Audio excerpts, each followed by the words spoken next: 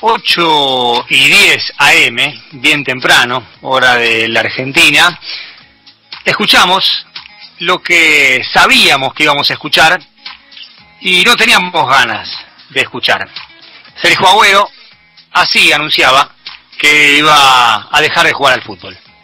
esta conferencia es, eh, es para comunicarle que con él he decidido dejar de jugar al, fútbol con Nada, es un momento muy duro, pero bueno, estoy muy feliz igual por la decisión que tomé. Primero es, eh, es mi salud, ya saben por qué, por qué tomé esta decisión, por, por el problema que tuve hace un mes y pico.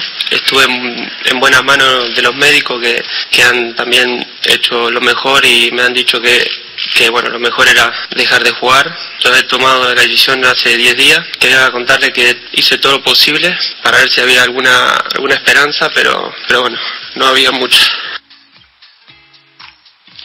En un rato vamos a analizar con Manu el contexto en el cual Agüero toma la decisión, por qué la toma, más allá de lo que es de público conocimiento, esa caída, ese dolor en el pecho contra la vez, ese eh, diagnóstico de arritma severa y todo lo que vino después.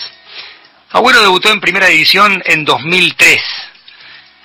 Oscar Ruggeri se iba de Independiente en una derrota contra San Lorenzo Almagro y decidió hacer debutar a ese chico que en ese momento se convirtió en el jugador más joven en disputar minutos en primera división, incluso más joven que Diego, que lo había hecho también con 15 años, pero con menos días, a punto de cumplir 16, allá por octubre de 1976, a una semana de cumplir 16, debutó Diego contra Talleres en la cancha de Argentinos.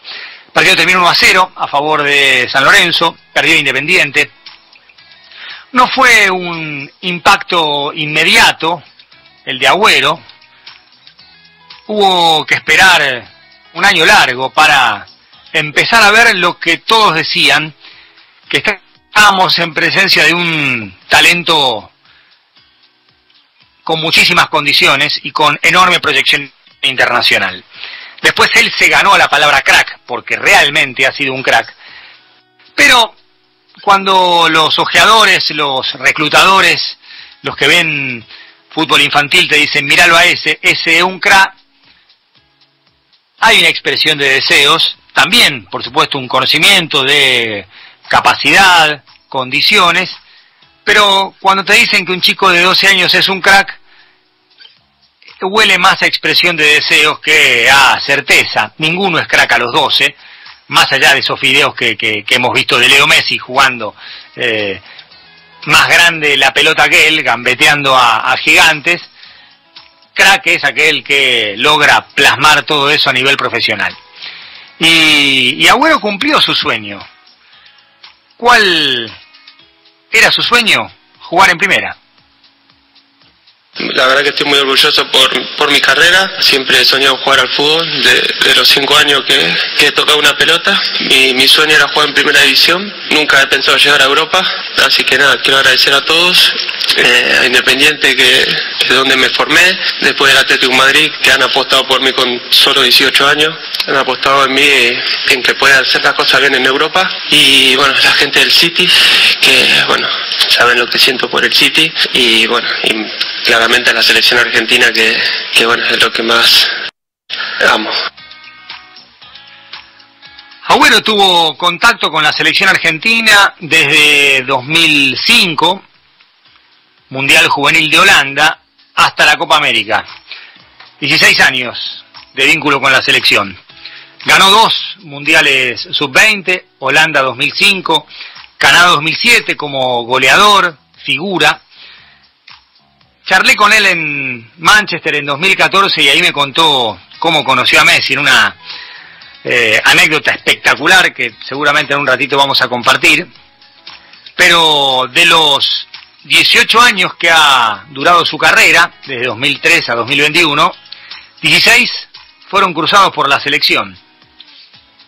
Es curioso, estuvo mucho tiempo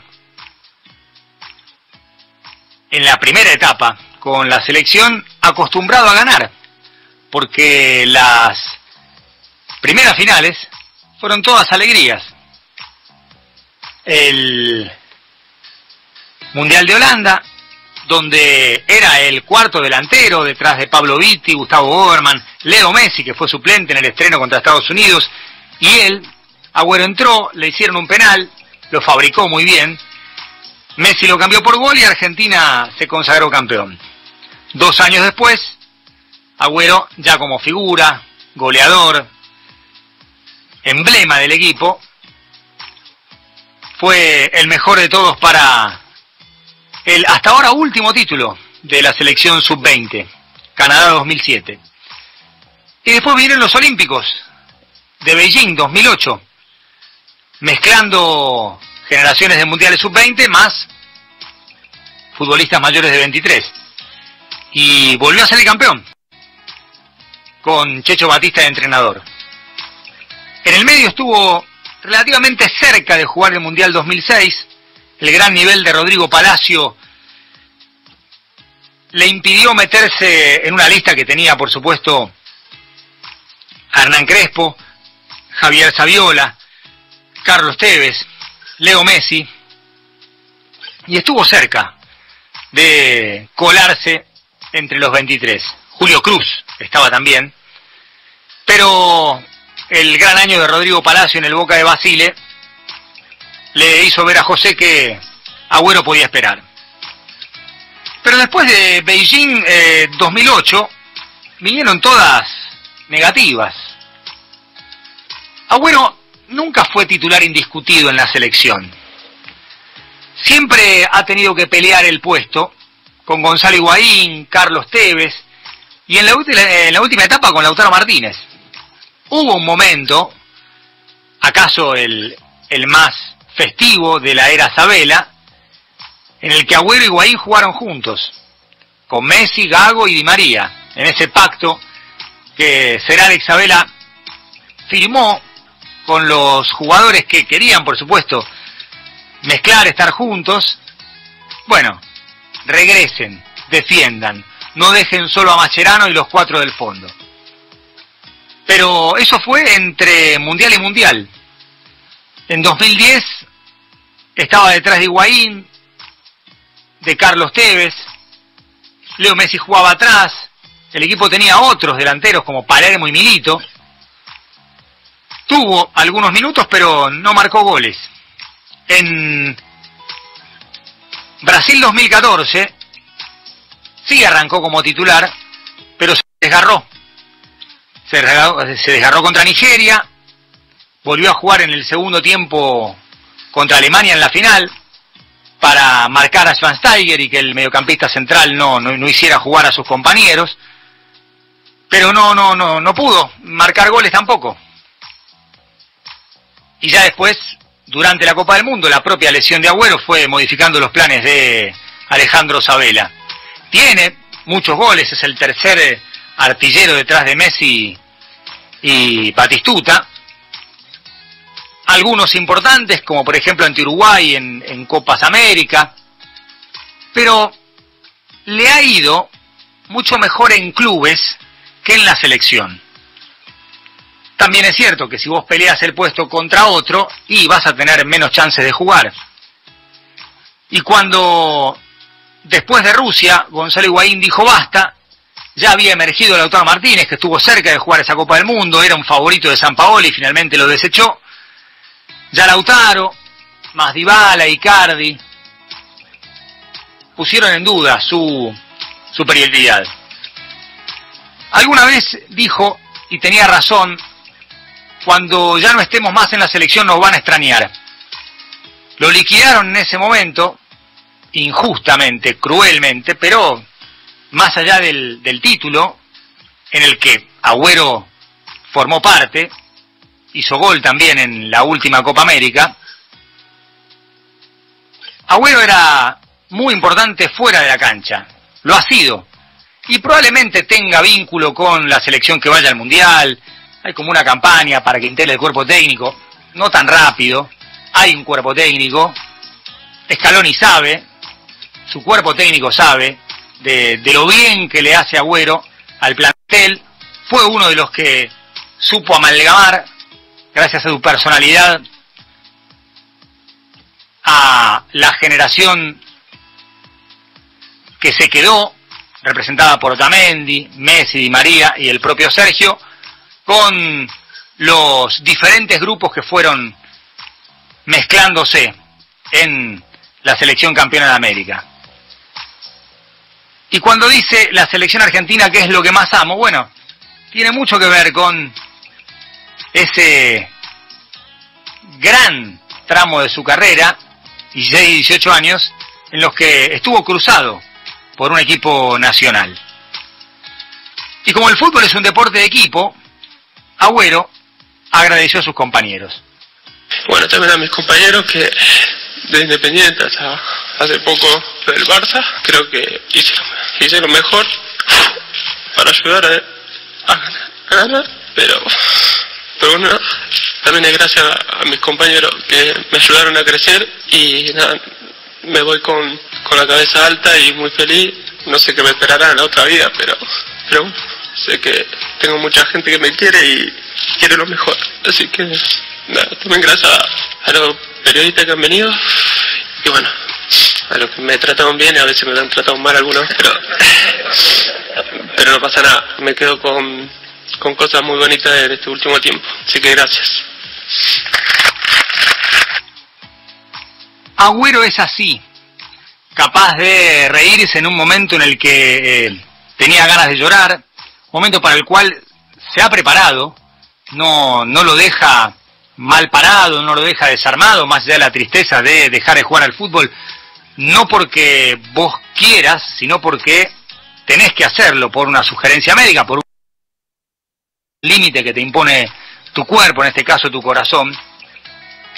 Pero Agüero ya, ya había encontrado muchos intereses, algunos públicos, como por ejemplo su Crew Esports, su pasión por ser streamer, su vínculo con Ibai, por ejemplo, y, con otros eh, streamers argentinos.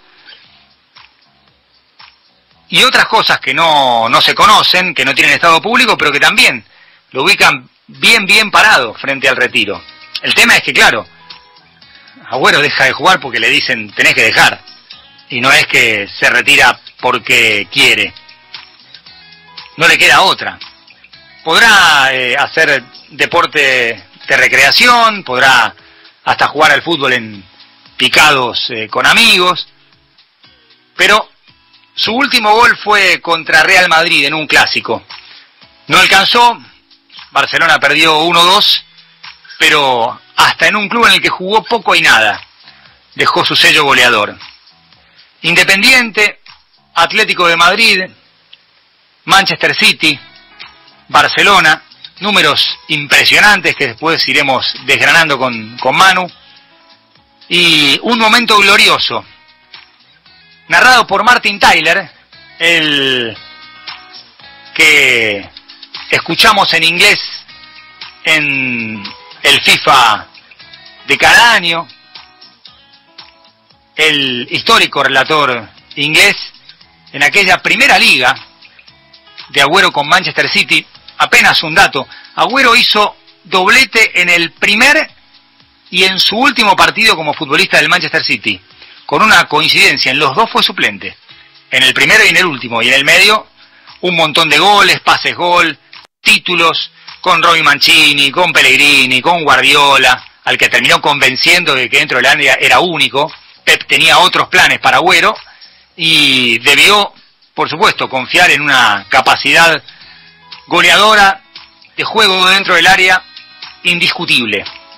Pero para ganar su primera liga en Manchester City,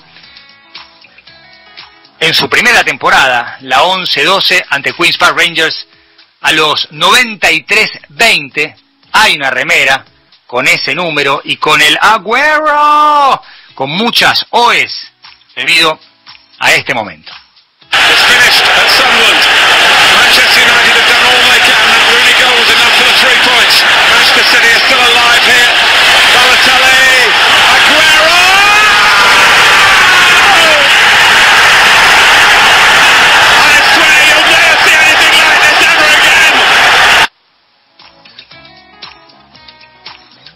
Martin Tyler dice, nunca más van a ver algo así. Y después vinieron eh, otros títulos, es el extranjero más importante de la historia de la Premier, el más goleador, pero el, más trascendente también, y miren que ha pasado mucho crack por la Premier, la liga más importante del mundo, y si vos sos el mejor extranjero de la historia de la liga más importante del mundo, realmente sos muy, muy, muy, muy bueno. Obviamente Messi está en otra escala, y si lo sacamos a Messi, Agüero se sienta en la mesa de cualquier argentino exitoso en Europa. Cualquiera. Fuera Messi, por supuesto. Después vendrá la ley del según como te caiga y, y algunos dirán Tevez, otros Higuaín, otros Macherano. En la mesa Agüero está. Pero además de los goles, de los números, de los títulos, lo que se destaca de Agüero es esa personalidad. Si tuviera que resumirlo en una canción, Agüero, por cómo habla, cómo piensa, cómo se para frente a la vida, cómo afronta la, adversidad, cómo sin tomarse nada en joda, no, no, no dramatiza, ni siquiera hoy. Hizo, hizo un drama, se, largó a llorar, muy emocionado, pero al mismo tiempo eh, trataba de, hacer reír con, con sus mensajes eh, a los periodistas o, con ese insulto al aire cuando había preparado seguramente una postura para la conferencia de prensa y de golpe se dio cuenta de que no podía mantenerla. Es eh, Three Little Birds de Bob Marley. Esta canción que dice Don't worry about a thing, because every little thing gonna be alright. Y es así. La, la, la cara, la postura, la actitud de Agüero es no te preocupes, todo va a salir bien. Durante sus 18 años como profesional, lo demostraba dentro de la cancha. Partido complicado, partido abierto, adversidades, encuentros difíciles, él siempre encontraba una manera. Y no era solo el qué, sino el cómo, su, su elegancia, su potencia. El flaco Menotti, una de las personas que más sabe de fútbol en el mundo, probablemente la que más sepa en el mundo, tras el fallecimiento de Cruyff, lo bautizó como el nuevo Romario. Se le tiraron encima, claro, porque el chico recién empezaba, los goles no llegaban, y Menotti, que lo dirigió a Bueno Independiente en 2005,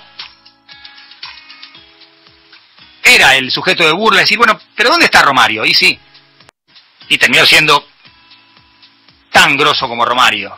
Obviamente Romario tiene un título del mundo como figura y eso probablemente lo pongo en otra escala, pero sacando el, suceso que, insisto, vale la pena considerarlo, la carrera de Agüero es tan grosa como la de Romario.